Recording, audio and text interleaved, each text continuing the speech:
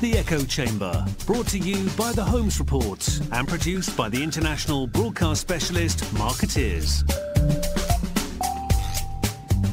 This Echo Chamber episode is brought to you by the W2O Group, which is making the world a healthier place through marketing and communications. And it's What to Know podcast on digital marketing and communications. Welcome to the Echo Chamber. I'm Aarti Shah. I'll be your host for today's episode. On today's show, we have Aaron Strout, who is CMO at the W2O Group. And today's show is all about Provoke 19. And Aaron and I are basically going to download the, the three day conference that was held from October 21st to October 23rd at the Watergate Hotel in Washington, D.C. It was, of course, the eighth Global PR Summit that we've put on. It's hard to believe. We will include links in the show notes of all of the sessions that Aaron and I reference. So if there's something that really piques your interest and you want to go deeper, there'll be a full write up to do that. So with that, let's get started. Welcome to the Echo Chamber, Aaron. Happy to be here.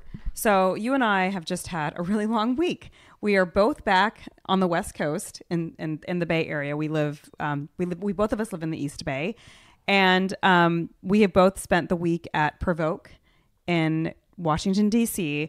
Um, and, and and Aaron, actually, you fit a you, you you went to New York as well somehow. yeah, this October, as many people know, is a crazy month, and everybody seems to want to squeeze their events in. And so we did an analytics summit the day after the two days of Provoke. So it's been a busy week. Yes, indeed, indeed. So we're we um we will try to be as coherent as possible since we're both probably a little jet lagged.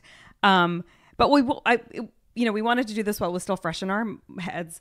Um, just doing a debrief on Provoke this year because there was a lot of interesting topics, and and I don't know if we each want to sort of give like a kind of a top line in terms of what we took away. Um, I.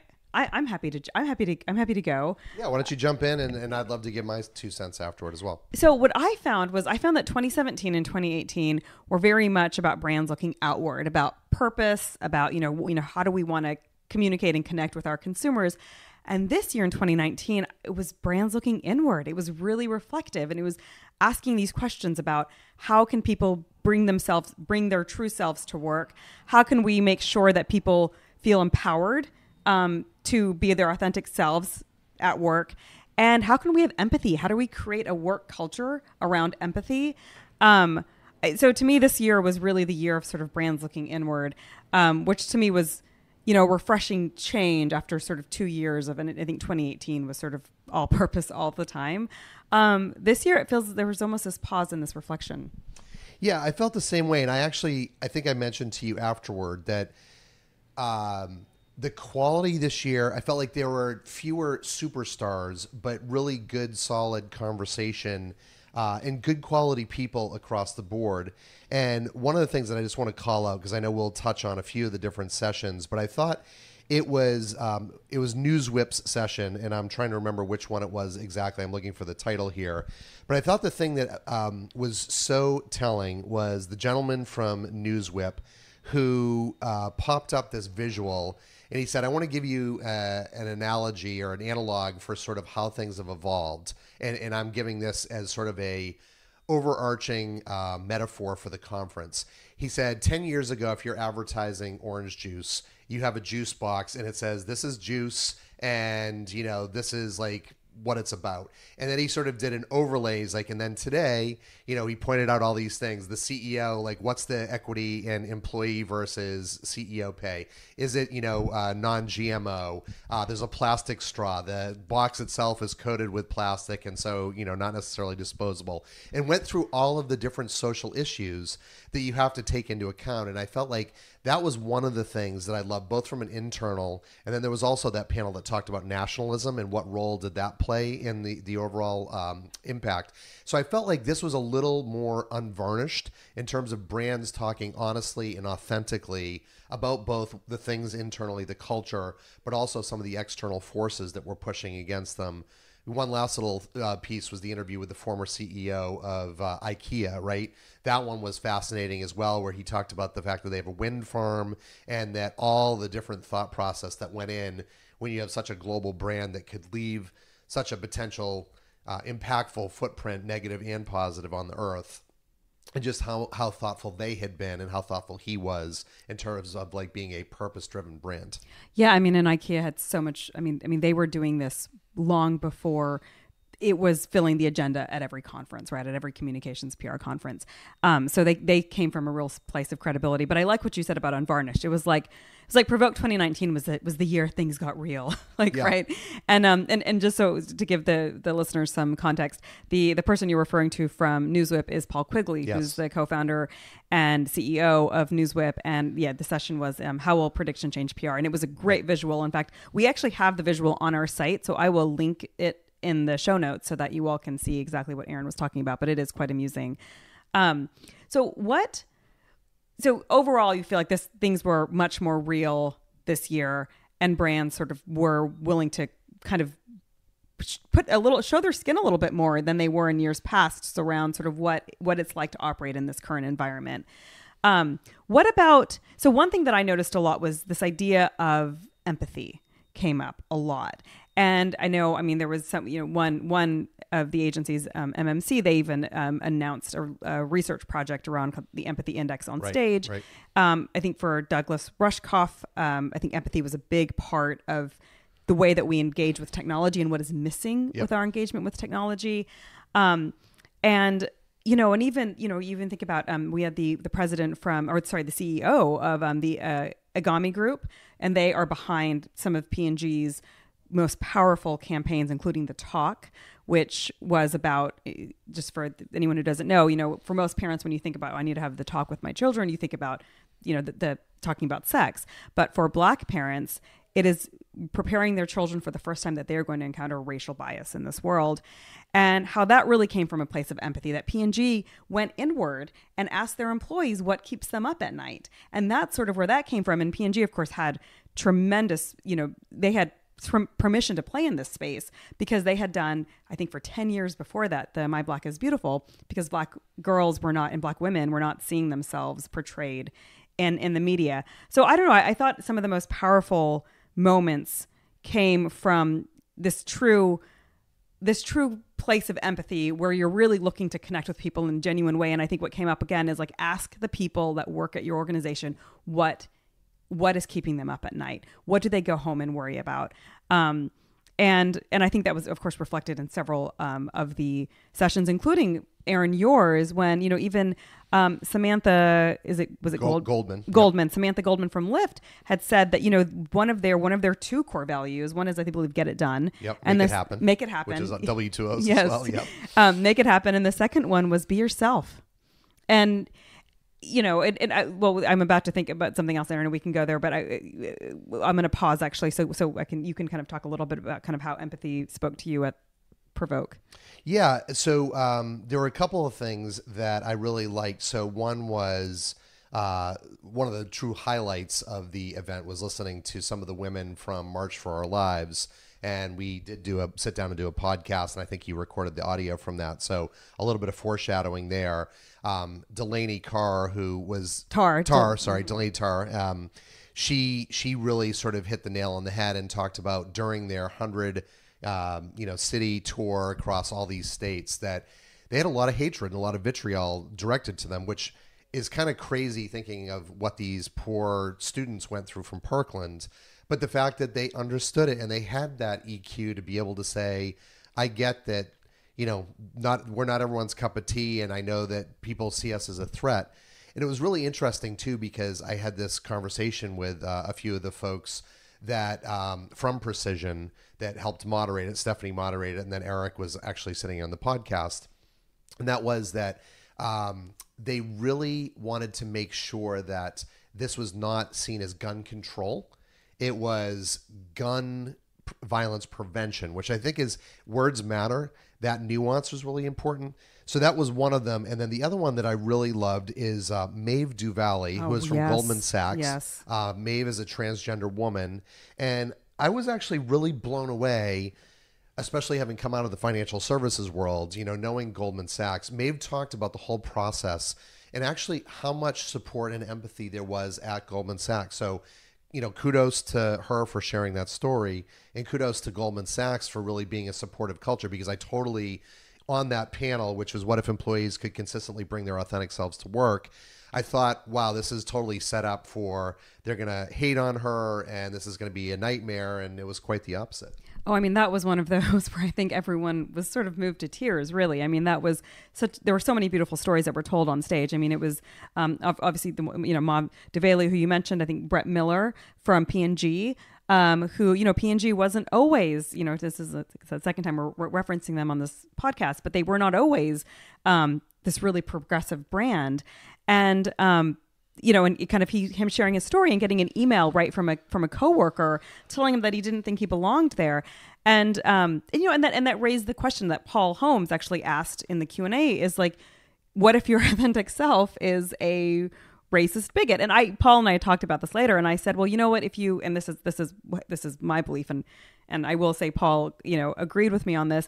If you are an organization that says we welcome clans people for instance you will end up with just clans people, right? I mean, any person of color will, will I mean, it's like you have wolves there. You're not going to, you know, the sheep are not going to show up, right? And, and I think that's why, or, I mean, I do think organizations do have to make a choice. I mean, and you can, you know, I mean, that if you are, if you are overtly telling your coworkers that you don't believe they should exist, then you are, I mean, that's violence. I mean, you're bringing violence into the workplace, right? It's like emotional violence. So, um, so I, so anyway, I thought that was an interesting question. And, and when I talked to Paul about it later, he was like, no, he's like, I knew that answer before I, before I asked the question, he's like, but I wanted to hear it articulated, and I was satisfied with the answer that that he got from the panelists. Um, and then the other, I think Catherine um, Hernandez Blades from Aflac was also on that panel, and she talked about the moments in her career when she was told very overtly that she didn't belong in the room because she wasn't a man. And, and all the way down to you don't have a penis. You don't have a penis, and right? We're not yeah. trying to be crass, but she yeah. literally said that, and I thought that was yeah. incredibly powerful. Really was. And she is such a a smart and eloquent and thoughtful person. I've seen her speak at other uh, events, and she talked about you know growing up in a male dominated industry again, financial services, Aflac and the fact that she's uh, have um, Latino heritage and she's a woman growing up in the South, and the fact that she wasn't welcome in a lot of different ways for that reason. And, you know, kudos to her for not only transcending that, but also really being strong and, and empathetic. And I do want to add one more thing, not that this is all about P&G, but I do feel like they have become such a purpose driven brand. And Brent from P&G did mention something that I thought was a really cool little vignette. He said that they have a uh, chief diversity and inclusion officer, I believe is either in London or he met with her in London and someone came up after the talk that she had just given and said, you know, I hate what you stand for. And I'm paraphrasing here, but the lesson was the the DNI, the chief DNI officer said, you know what? Thank you for at least coming up and engaging me.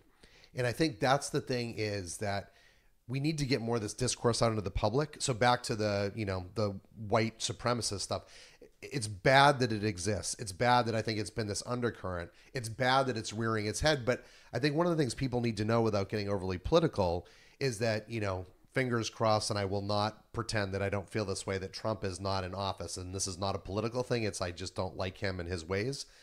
But the some of the problems that have been created in society, and I think this goes back to the conference, they're not going away once he goes away. There is this frustration that underlies us and I know that the only thing that is going to get us there is that empathy and that understanding and that willingness to talk and listen to us and to bring it home. The women from March for Our, for Our Lives really understand that better than anyone and they're like 15 18 right. 20 years old it's crazy so I, I, think that that is an important point and i think this was actually said on the panel um, that we're talking about with um, with P&G and aflac um, and goldman sachs that change starts with conversation and how important that is. And and you know in the in the case that that Brent Miller said you know where the where the DNI officer was like okay I'm glad that you were you know that you felt that you could tell me this. Now let's let's talk about it. And I think that is a healthy great way to sort of be inclusive um, of you know all points of view. I think, you know, then there was the example that Brent gave when somebody emailed him and told him he couldn't exist. You know, that it's harder to have a conversation when someone's starting from that place. But if somebody's starting from a place where like I am frustrated, I don't understand what you're doing. In fact, I may be it's making me uncomfortable and I don't like it. Let, I mean, that's a great place to start in having a conversation. And I commend organizations for doing that. Um, yeah, I, I think he gave he gave two really great examples. You know, one of it's hard to have a conversation from from from the place where he got that email telling him that he shouldn't exist versus someone saying look i'm not comfortable. I'm i don't I don't know. And I'm sure that, I mean, I'm not sure, but I'm guessing that person wasn't exactly sure why DNI made them feel so icky. And they probably had some ideas, but they, they probably needed to talk about it. And they maybe felt like something was being taken from them. And they needed some reassurance that, look, DNI does not come at your expense. Um, and, and I do think that those conversations absolutely have to happen. Yeah. Uh, yeah. mhm. I, I will just to, to pile onto that. There was a session that came afterward. And it was called "Welcome to Acceptance Street: How Mastercard is Leading the Way on Inclusion." It was with Mike Doyle of Ketchum and then Jim Issokson from Mastercard. And I will say, I- and I shouldn't have had this, but I it was two, you know, white guys. Although um, I think uh, Mike said that he's uh, Openly an gay. openly gay uh, man. Uh, that they had this delightful conversation, and I was not aware of some of the things that Mastercard was doing. And so, one, they've created this sort of movement called Acceptance Street, and they have all of the different. I guess ways of identifying. I don't know right what the right terminology is, and I don't want to butcher that. But you know, it's why the LGBTQ sort of keeps building. Is that being gay or you know a lesbian isn't like the only designation there are all different sort of nuances to that and it's really important to get those distinctions right but i thought the other thing that i really liked that they did is they are rolling out this product called true name and one of the issues that financial services again that i come from places like facebook that are trying to keep people authentic in doing so sometimes put people at risk because if you were born Arthur Shaw and you've trans you know uh, transitioned to Arthur Shaw and you have Arthur Shaw I mean Arthur's right. little, it's little more, less more known, ambiguous. So is Aaron, actually. True. yeah. But like let's say, Yeah. you know, it's John and I Yeah. Mm-hmm. transitioned to, you know, Joanne, but I have John on my card. Either A, it looks like I stole it, Mm-hmm. or B, it's like, why does that not match? And then people start to do mental math. And they showed a video, and a lot of the the transgendered folks there were talking about the fact that it made them feel not just uncomfortable, but in some cases put them in dangerous or like really scary situations. So back to this whole empathy of brands, you know, not only internally from the people, but I think just having that conscious of having a um, social, you know, corporate social responsibility campaign isn't a like, let's put this nice thing out there. It's living that in your culture and really making it meaningful. And and you know that actually made me think that I'm sure because I mean that's a problem that I don't think many people outside of the community really knew existed, right?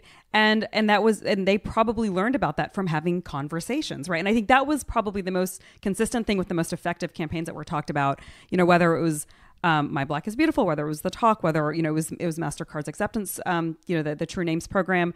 Yeah, I mean these these all came from really like they were solving real problems, right? That and they were they were they addressed. I mean Mastercard solved the pro- was helping to solve the problem, but in the case of P&G, I mean they were just helping to acknowledge the fact that this problem existed to a wider. You know, it was great because you know the Black community could see that reflected in P&G's you know uh, messages, but it also educated the you know the non-black population that this is happening, right? And that that, that you know it was poignant to hear that to think about the fact that you're having having to have these conversations with kids as young as probably seven or eight or nine, right? Yeah, right. Yeah. Um, and so speaking of children, and, and, and you've mentioned this a few times now, and I do want to talk a little bit about the March for Our Lives.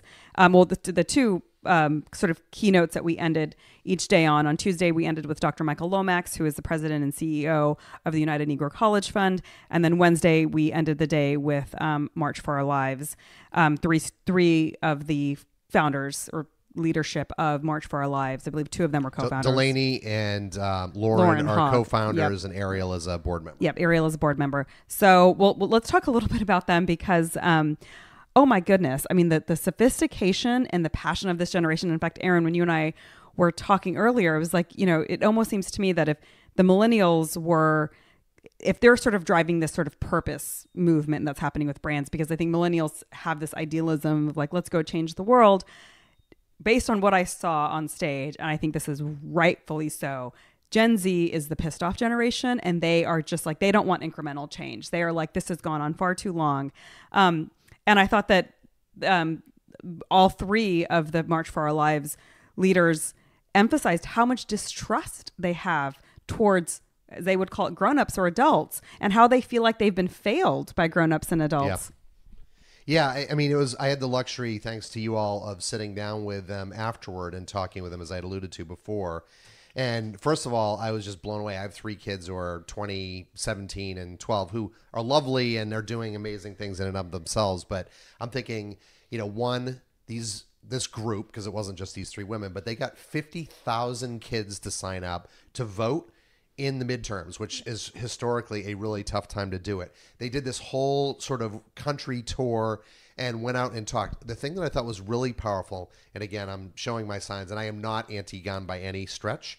Um, grew up with you know families of hunters and all that, but they were able to defeat i think it was 47 candidates that were Yeah. nra backed and i feel like while i am not anti-guns nra has not done us any favors and i don't think many people would strongly disagree even if you love the nra that you know sometimes when you have these special interest groups these PACs that are controlling left or right it's it's not a healthy environment and so the fact that they were truly putting their money where their mouth was but back to your point too about the not trusting adults, um, we did have an interesting dialogue, and a little bit of this happened on stage.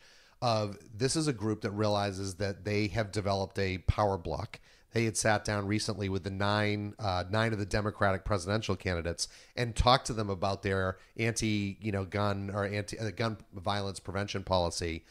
And when has that ever happened? Not like only with uh, Katie Couric of the world, but with this group of young people. And it does demonstrate that people are paying attention to the fact that they've got millions of people on social media and they can rally them.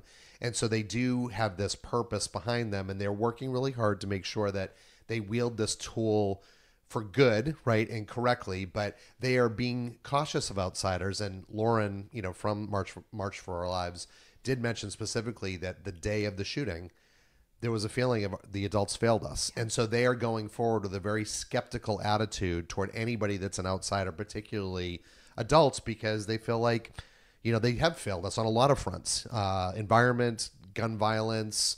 Um, global warming, yeah all these. i mean even even the economy right i mean like the what the way it's structured now um you know and, and i think that what was so powerful was that instead of just like you know no offense to gen x right but there was this idea that there was this resignation right of like well this is the way I'm Gen X. I can Yeah. take the hit for that. You can take the hit from millennials. so yeah um i i'm somewhere in between apparently um I, I'm i'm i'm in the lost You still fit into the tail end of the uh, millennials. yeah um I'm, I'm an old millennial maybe um but you know but they they've taken action i mean what i thought was really amazing i mean they they turned this moment into a movement i mean one month i think it was like one month and 10 days after like they watched their you know their classmates and their friends their teachers die they managed to mass 800,000 people on the steps of Washington right? The legislation that they've gotten pushed through. I mean you know, to your point about you know how many people they've registered to vote and the, the, the forum that they had with the democratic um, primary candidates it's really i I mean it, and, and you know I, I caution brands because I've you know I've heard a lot of brands say oh you know we're they've they've moved on to Gen Z that they they need to be careful on what they're stepping into because this isn't they I mean from what we saw on stage they are action oriented they like to own their voice. I think they all talked about social media Yep. and how I'm nodding social my head and realizing people can't see me nodding my yeah, I mean, they, they they talked about how Twitter gave them a place where they could control the, their voice, and um, you know, and I think that you know, brands that are looking to connect to this to Gen Z should really pay close attention to what what these kids are saying, um, because they're not, you know, this if, if they they need to be spoken to in a way that I think brands were used to sort of broadcasting. And you know, while they've said that they've evolved that, um, I, I think that they're, I think many brands are going to be unprepared for the kind of engagement that that this generation expects. Yeah, and and just one thing that you mentioned that sort of sparked uh, a memory was during the video that you were doing. I think it was Lauren that said, "Speak to us, not at us." Yeah, that was actually Ariel. Or Ariel, Ariel. yeah. and mhm. even in better, I would say with us, right? So it's yep. it's in, and engaging. One last thing on that, because you mentioned the legislation, they also have this thing called the peace plan, Mm-hmm. and the peace plan, the guts of it are essentially cutting uh, gun violence in half. So this was a startling stat, but 40,000 on average a year in the United States die. This is, by the way, self inflicted. It's spouse on spouse or family mm-hmm. members as well as mass shootings. So it wasn't just, you know, mass shootings or, you know, street violence. But the fact that they have this ambitious plan in the next 10 years to do this and to really you know, they said we know it's ambitious, but we don't want to shoot low and then hope for high. It's like let's shoot high and try to deliver high and you know really make this happen. So I was impressed. So this might be a good segue into into talking about Dr. Lomax, but I wanted to say one thing about about about what you're about. You know that forty thousand number includes not just victims of mass shootings. You know, I think that was really powerful how the they acknowledged on stage about you know when the March for Our Lives movement started, and it was mostly kids you know from Parkland.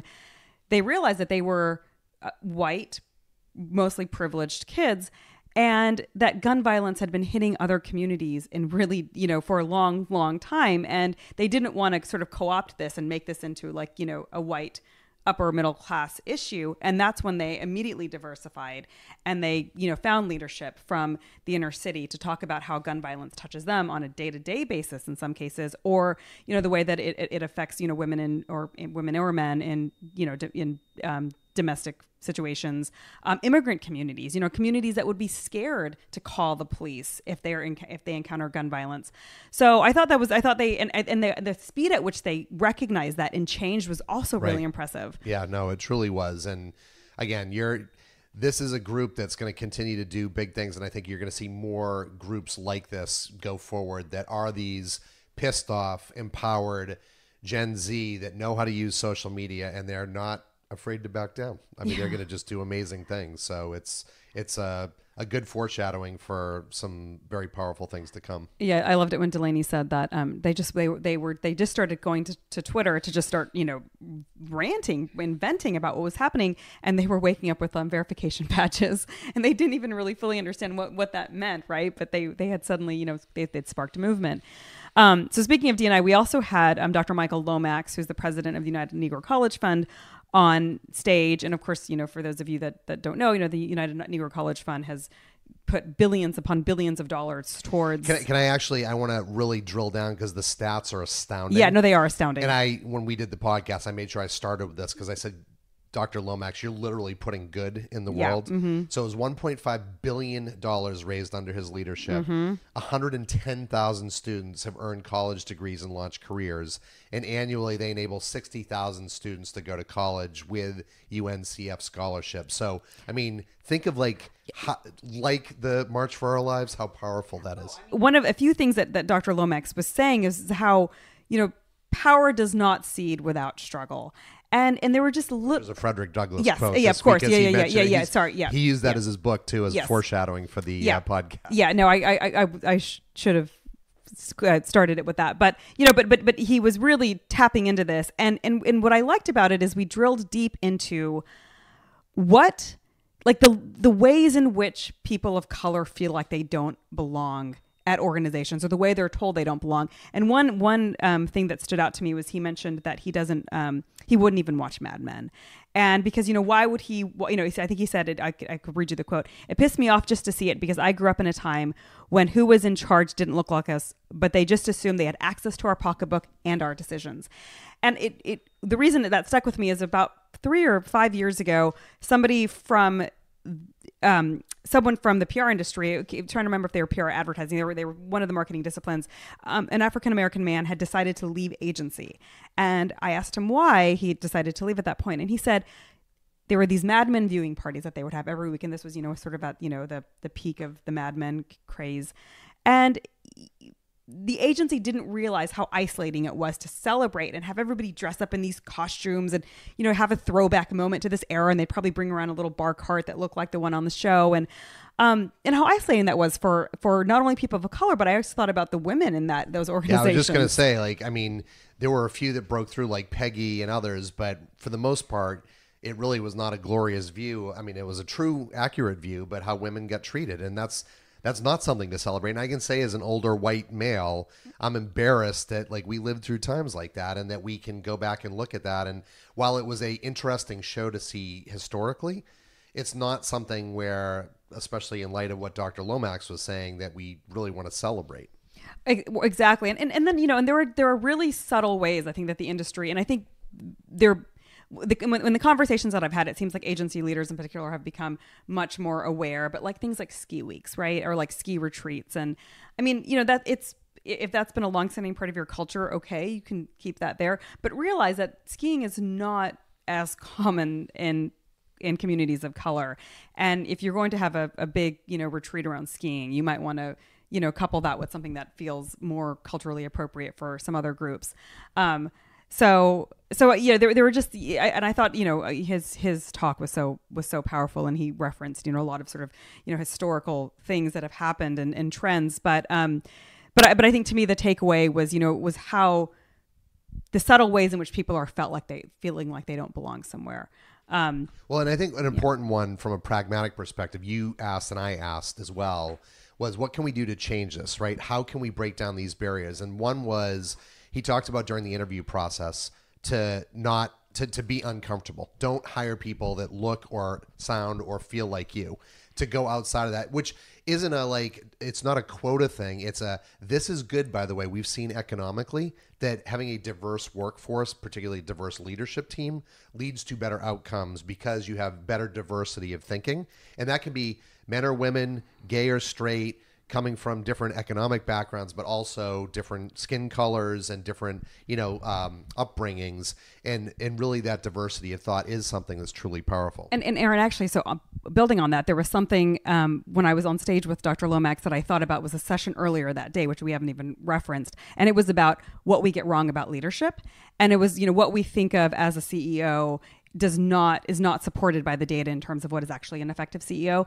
And one of um, and and I want to actually say the name of this author who um, has led this study. So let me just let me just take a moment to to make sure I have her name. Um, Elena.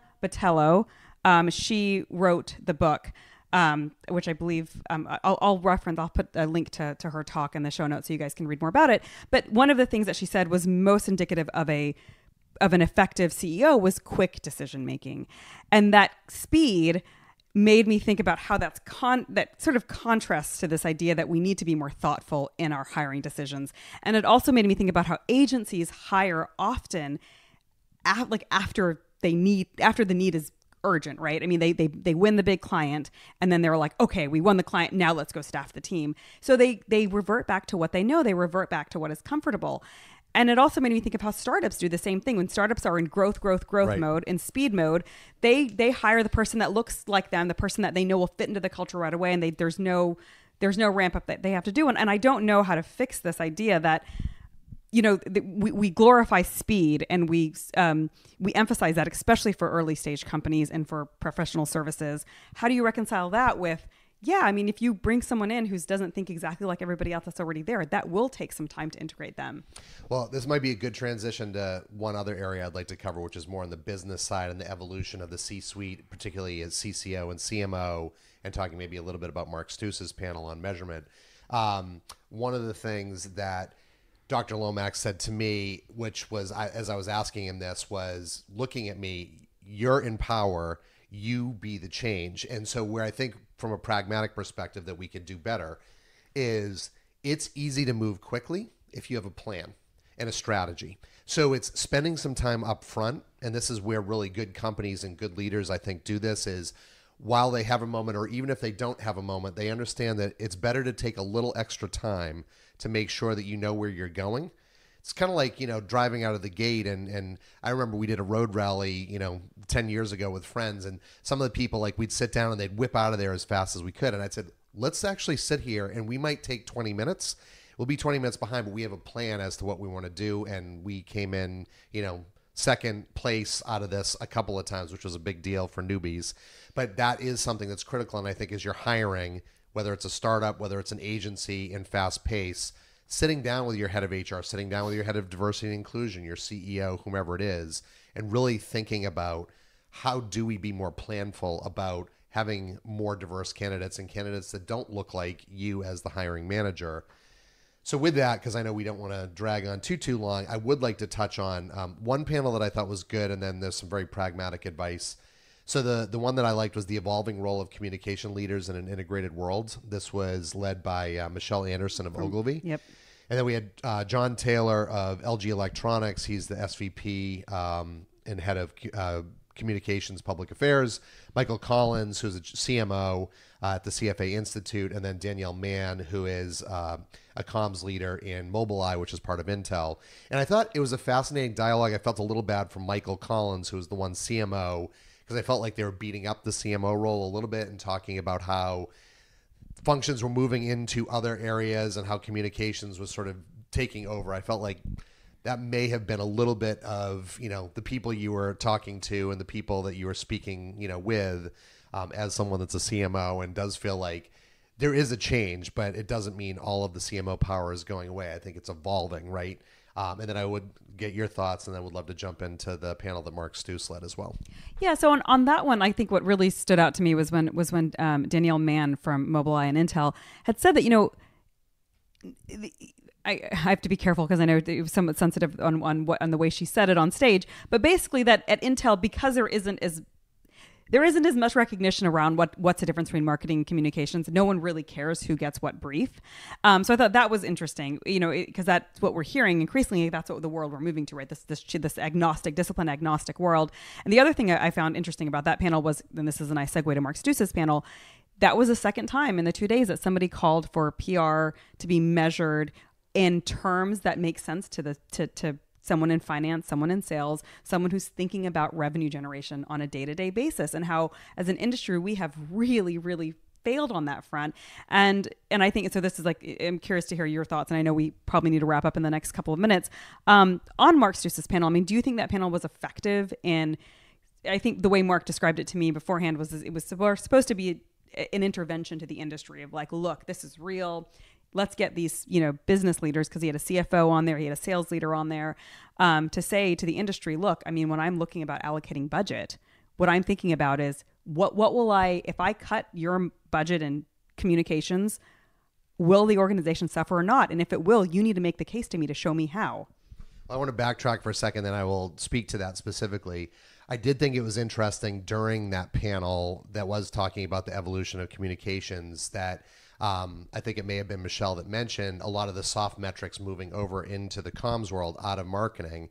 And I thought, you're saying this like you think that that's um, it's uh, denuding or, or whatever the CMO or the, the, the marketing suite, but the fact that you just said that I want to move uh, soft metrics over into my organization look down the road a little bit and if marketing has been getting beat up because we're supposed to be so measurable what do you think is going to happen to comms down the road when people are starting to say okay let's really talk about what the value you bring beyond just impressions and beyond articles and that said i am a huge believer in the power of comms and, you know, it is, and I think it got brought up a number of times, the CEO, if there are things that go good or bad, one of the first people they have on speed dial is their chief communications officer, right? So I thought that was interesting. And then moving to this panel called Lost in Translation, why there's a proof gap between you and your C suite. Um, it was a really interesting dialogue. And I did think that that uh, lever of you know budget. And if you had to sort of invest in budget or you had to let go of budget you know where would you put it? And you know mark's whole thesis is is that we don't really measure measure and and, and are actionable as we could be on that stuff. I think is true. I did love the way he wrapped up. And while i thought the session itself was good i thought the last 10 minutes was really the most powerful because mark said if you have one really sort of powerful piece of advice that someone could act on today what would it be? And I'm actually going to just take a minute if you don't mind because I think it's you know it's pretty powerful. So um, we had members on that panel. I'm just going to read them out so you know. So Mark Stouse from Proof, Julie Brown, Brown from Johnson Controls, Michelle Killebrew from PwC New Ventures, Kevin Moriarty from JDA Software, and then Tom uh, Schodorf, um, who's the CRO of Splunk and also sits on a number of boards, and then finally Chris Talego from Oracle. And so I think um, Kevin mentioned that um, his advice was narrow down the three to five metrics for C suite and make sure whatever you're doing, whether you're comms, marketing, whatever, aligns with those, which is critically important. Tom mentioned that. Um, what if we stopped doing something? What would that look like, right? And so I thought that was, you know, actually, I, I think that was Julie. Julie that was, was the one Julie, that said that. I had that yeah. under Tom, but that was Julie as I'm saying that. Um, Tom was talking about the fact that, um, you know, I think the MQLs and really sort of looking at the power of marketing qualified leads. And I know there's a big, you know, sort of battle back and forth with those. Uh, Chris Talego was talking about anytime people wanted to invest, he would ask them three very sort of firm questions. And one of them was like, is this really the best allocation of these funds and what am I going to get out of it? And then lastly, Michelle Killebrew was the fact that you know, she talked about the quality of MQLs as well. And making sure sales and marketing sit down and understand what that is and actually can have a handshake on what that is. So I know that was a lot, but I thought that was actually out of the entire event, that was probably one of my three or four takeaways was listening to these marketing and sales leaders talking about this. Oh, I thought that was great. And I mean, Julie's comment was actually our headline for that session and I and I loved it. It was have the courage to stop doing what doesn't matter and take those resources towards activities that matter. That was it. That yeah. was it. Thank you. And Yes. and and it you know, and I think but part of the problem right now is there so much of our measurement is so fluffy, right? That we just don't really know, right? We don't know what's what doesn't matter. We have an idea, and I think we haven't even, and we have to wrap up now. But you know, the Microsoft um, conversation, where you know, um, where Doug Dawson from Microsoft basically said they stopped, they put a pause on the podcast because they weren't sure.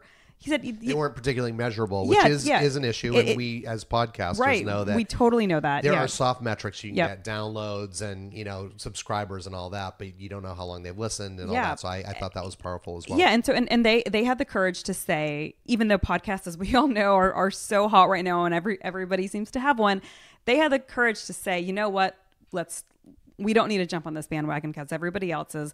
Let's reallocate these resources towards something that we know is making an impact. And I think agencies are guilty of this too, right? I mean, they they'll just they'll just throw everything. You know, it's like it's.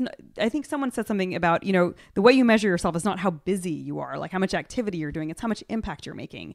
And and I think that's where the industry needs to move its focus away from oh my god we have you know our, we're so busy our clients keep throwing all this stuff at us well yeah but that stuff needs to ultimately have an impact otherwise you know what's the point really Yeah, I mean that's probably the ultimate takeaway: is fewer things better. yes fewer Empath- empathy Yes. and understanding and uh, really being purpose driven. yeah and, and, and being yourself right i mean and how can brands empower people to be their true selves um, well aaron this was a great conversation as always Yes, and I wish we had another thirty minutes to sit down and talk about this because there's just so much to cover. I, I know. I mean, I think we ambitiously plan to do this in 20 minutes, and now we're pushing almost 40. So, um, all right. Well, we will be back in a few weeks with another echo chamber. And thank you, everyone. Thank you, Aaron, for joining us, and thank you for all of you for listening. Thanks, Aarti. You've been listening to The Echo Chamber. Brought to you by The Holmes Report and produced by Markettiers.